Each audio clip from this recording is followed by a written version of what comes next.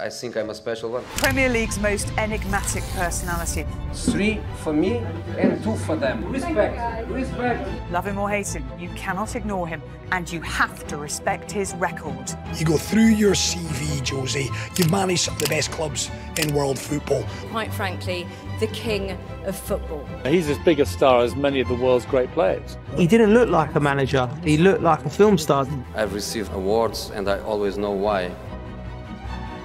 Because I win football matches. He is one of the most iconic managers in sporting history. I am Jose Mourinho. But the special one wasn't always special, because Jose Mourinho had to start from the bottom.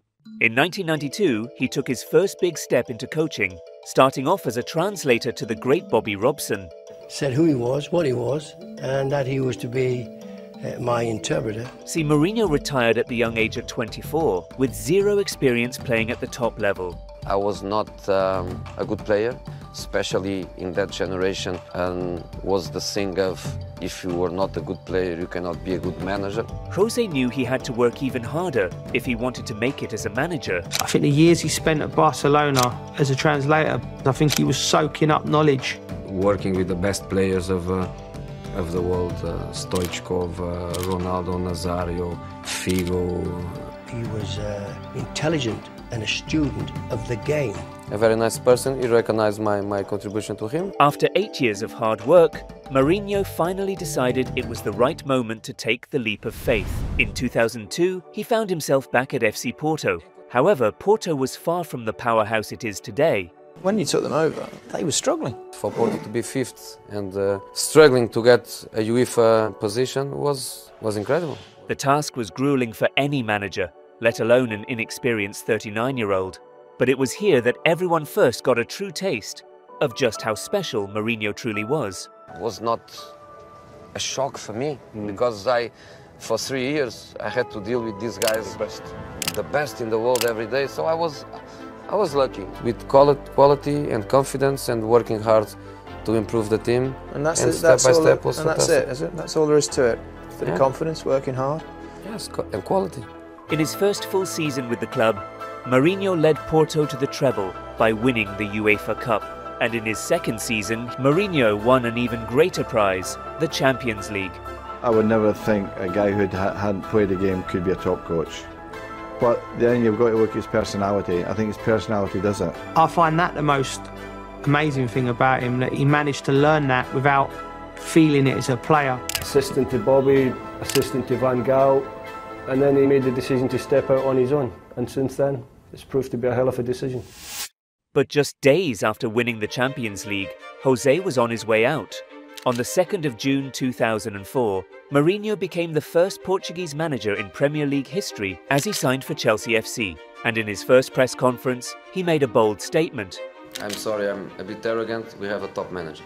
I'm a, I think I'm a special one. I, I read a lot of times during this week that I have to prove a lot in English football. Sir Alex is the only one European champion in this country, so I have to prove what? He was telling the players, week? I'm the special one. We don't lose games. And I thought, what? I just won the Champions League, and you are you are thinking that I am nobody? 50 difficult questions, and can you succeed? And are you ready for this? And are you ready for that? And I was thinking, what is this? So I went a little bit on the aggressive side. So it's a bit of an act. Yes, it's a bit of it's a bit of an act. I'm not special one. I'm not a special one. I was under pressure. But what I, did, I think it did was it told all the players he had the belief they was going to win the league. Arrogance or not, Mourinho had the players on board. You have to be arrogant on the pitch when your team is the best one. For him, I would, I would give everything. I would, I would leave that pitch, you know, in a coffin for him. It was in every every player that he had felt the exact same way.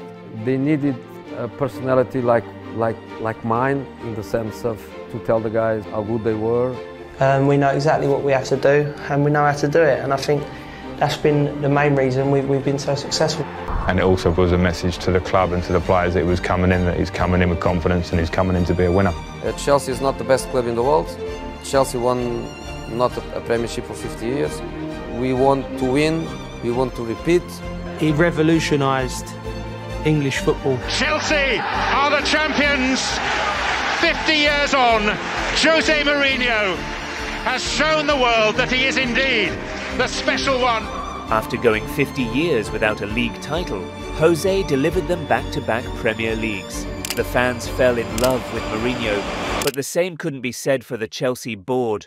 The top stories goodbye Mourinho. Shock for Chelsea as the club and manager agreed to part ways by mutual consent. It was a bitter disappointment that Josie left when he did. I, I think there was still work for Josie and all of us to do to, to try and move the club forward a little bit. He come down the dressing room and everyone was crying. Everyone was crying in that dressing room. He come round and he said goodbye one by one by one. Your players were crying yesterday when you and I when was you said crying that. too. And I was crying too. With the footballing world wondering where Jose would go next, they got their answer in June of 2008.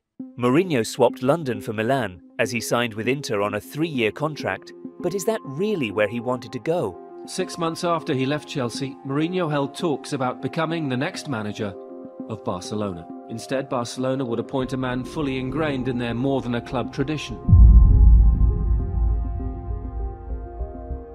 To get the treble in the in the in the first time is, is marvelous too. After being rejected by Barcelona, Mourinho took his talents to Inter with the goal of proving them wrong. Whenever he plays against Barcelona, he, he probably thinks he has to prove himself. His goals were lofty as they always were deliver Inter Milan their first ever treble. And if he could knock out Barca while doing so, it would be even sweeter. Little did he know, he got that chance in 2010. He perceives that, you know, they look down on him. So I'm sure there is an element of wanting to prove his former masters wrong. His philosophy is that you may have to play against a team who are better than you, but you have to find a way to win the game. If we need to, let's go to the extreme. But if we need to die on the pitch to go to the final, we are going to do for the team. Inter Milan will go to Madrid. And Jose Mourinho's moment has come again. Barcelona have mocked him, now they fall to him. Mourinho had achieved his own goal, and after that, he fulfilled the dreams of the club. Inter Milan were treble winners, and it was all thanks to the special one. Mr. Moratti had had that dream since he was a child. And he came along and he created this team that could go anywhere. Yeah, it was the best moment of my career. Really? I think so. But despite this success, the special one knew he belonged somewhere else. Frustrated at Barcelona's prolonged success, Real Madrid appointed Mourinho with the goal of bringing the giant down. It's clear that Mourinho could have a job closer to his arch rivals. And luckily for Madrid, their hatred for Barcelona was just as high as his. What are your hopes here at Real Madrid? I want to say one day I was Real Madrid coach and during my time we won this and this and this. See, the task of dethroning Pep's super team was going to be one of the hardest tasks of his career. Winning the treble with Inter Milan. Yeah. And he was like the guy that will save Madrid and that will make uh, the team win against us because we were winning everything at the time. Uh, Barcelona, the best, the best team in the, in the world. Real Madrid trying, trying to change uh, that perspective. But Mourinho was confident because he had a trick up his sleeve. In the press conference, every time he was every day, you know, you know how he is, his style, and and I think that Guardiola, um, at some point, it, it, was too much. I mean, it was more important sometimes what happened out of the pitch than what, what was happening on the pitch. He speaks as he feels, and he makes comments that other managers wouldn't dare to make. It wasn't about football, and he enjoys talking about what's happening on the pitch. And here there was a moment where the press was focusing on what was happening outside of the pitch. The science of destabilizing your opponent is central to just about everything he does. Mourinho's mind games, coupled with bringing the best out of Ronaldo and others, seem to be the difference maker in Mourinho coming out on top.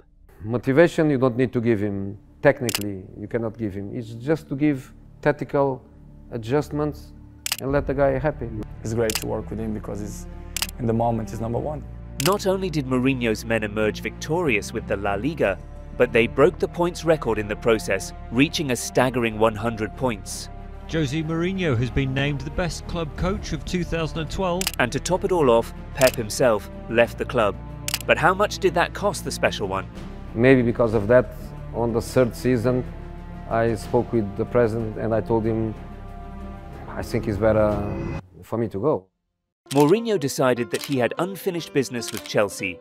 And the boss asked me, do you want to come back? And I think in a, in a couple of minutes, decision made. But the Mourinho arriving at Stamford Bridge this time was no longer the special one, so to speak. Who on earth is this? I'm the happy one, a very happy person. I love it. Have a special day? Speak later. Or is it a happy one? Yeah, for sure. I think we are ready to, to marry again and um, to be happy and successful again. Many were sceptical at how this new Mourinho would fare, but it took just two seasons for the happy one to deliver yet another league title. Your third Premier League trophy at Chelsea. How are you feeling? Tired. Are you? Obviously, I'm, I'm, I'm very happy. I'm very proud of, of the boys. However, not everyone was happy with this new Mourinho. Mourinho, oh, he's tactical genius, but he's not. He's boring. I think boring is, is 10 years without a title. That's very boring. Chelsea don't play attractive football. Like, does that bother you? Doesn't bother me. Doesn't change me. I want to stay. They know that no other club would uh, would take me here. It's just up to him. When he wants me to stay, I stay. In the moment he, he thinks it's the right moment for me to leave, I will go somewhere else. Mourinho loved it at Chelsea, but this passion failed to manifest itself in year three. Chelsea were 16th after 16 games. The club had no choice but to make a change.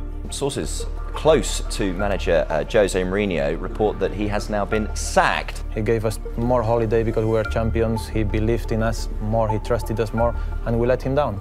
This was unfamiliar territory for Mourinho, and the special one we all knew was about to change forever. The English football club Manchester United have agreed a deal with Jose Mourinho to be their new manager. Historical club, legendary club, legendary players. I was very, very happy. Uh, the reality is that I think it's a job that everyone wants. Little did he know, life at Old Trafford would be far from what he'd hoped. It's not easy to come to United and, and transform the, the club's fortunes. I was more about cleaning the house than buying new furniture. And we didn't clean it the way I wanted. Manchester United fired its manager Jose Mourinho after a string of terrible results. But it was what happened off the pitch which caught all the attention. He had a good performance, but was his body with my brain because he was in front of me and I was making every decision for him. He chose that moment to single out Luke Shaw for yet more criticism. It's clear to see that he's not a fan of Luke Shaw as a, as a player. But I think there is concern about how his own sort of state of mind as much as anything else. I mean, this constant criticism has, has worn him down. I mean, it's almost like he's absolving responsibility himself and pointing fingers at the players, and that, that's what it looks like. It looks like a fractious dressing room at the moment. Do you feel sometimes he's ever overstepped the mark with that? I don't think you can change what you are. I think what you are, you are. But Luke Shaw wasn't the only player to catch criticism. Jose Mourinho was reported to say that Pogba was like a virus in the Manchester United dressing room. How will that have gone down? And uh... once uh, I had a great relationship with uh, with Mourinho, everybody see that, and the next day you don't know what happened. What do you expect? Do you expect to have the players on side, or do you expect players to sit there and go, on a minute, my manager's hammering me in the public again? And I also wonder the effect it's also had in the, the dressing room to the other players, how, how they feel about it and whether they are a bit uncomfortable. And that's why you're seeing performances on the, on the field of play that don't have that, that spirit or that energy because there's no spirit or energy within the club, within the squad. His spell at United undoubtedly hurt his reputation, but that didn't stop the special one from returning to the Premier League. The huge news was Mauricio Pochettino was sacked as the Tottenham manager but it's Jose Mourinho, a huge appointment. Mourinho is back in football, he's back in England. Do you think you're now a, a new improved Jose? I think so. Absolutely buzzing with the news, really. Uh, it's been so long now without a trophy. I think it's 11 years and counting, and uh, we just we just got a born winner now. It's and it's really about time. Unfortunately, things continue to go downhill. Tottenham Hotspur have sacked Jose Mourinho. Where does that Mourinho story go next then? I don't see Mourinho back in the Premier League. I do think we've that ship sailed now. A club that uh, an empty trophy room. Trophy room. uh, sacks me two days before a final. This was a man who brought trophies to every club he managed. Was it all over for the special one? Maybe it was in England, but in Italy there was still a chance for redemption. Roma? Have just announced they have a new manager in town, and it is uh, the former Tottenham boss, Jose Mourinho. It's been more than a decade now. How do you think you've changed as a coach since you were last coaching in Serie A? I'm much better now. I'm serious. The way people reacted, um, I think I don't deserve that because I did nothing for them. Um, of course, emotional, of course, pleased, of course, of course, grateful, of course, um, even more responsibility uh, on my shoulders uh, to try uh, not to let that, that people with that passion uh, down. And the special one did not let them down. Mourinho won Roma their first trophy in 11 years. I had bigger moments than these, but I'm not feeling for myself. I'm feeling for the for the people. I'm feeling for my players, and uh, this for us is is our Champions League. But the fairy tale story would end there. Roma failed to win the Europa League in the very next season, and on the 16th of January 2024, Mourinho was sacked once again. He's a dated manager. You know, the way he plays his football is on the time gone past. I don't think he adapted well enough, whether it's through his own stubbornness or just simply, look, guys, football evolves and leaves everyone behind. It had been clear for a while that performances and results were not really good enough anymore. Mm. And I just think Jose Mourinho is just not suited now to this era. And that's why I'm like, listen, either international, or honestly, bro, I, I hate to say, it, might call it, have to call it a day. Jose, we need to know what is next. If I can work tomorrow, I work tomorrow. I don't enjoy any day without work. I just want to work, but I, I need to be patient. I need to work for the right opportunity. Whether or not Mourinho is able to return to the top, one thing is certain. Football is certainly not the same without the special one.